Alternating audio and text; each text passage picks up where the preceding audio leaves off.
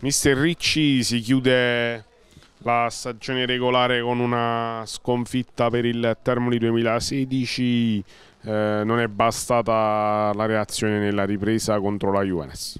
Ah, purtroppo l'approccio è stato sbagliato completamente, quindi l'abbiamo pagato a caro prezzo. E abbiamo provato a rimontare, secondo tempo comunque ai ragazzi la, il sacrificio e l'impegno non sono mancati, purtroppo però queste partite se, se le sbagli all'inizio poi succede questo, rischi di perdere e così è stato. Si va adesso test e playoff, eh, quale può essere l'obiettivo per voi?